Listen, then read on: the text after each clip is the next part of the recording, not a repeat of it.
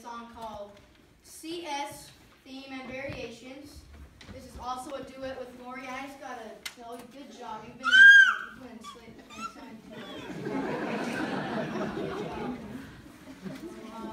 this is a mix of two very well-known classics. I think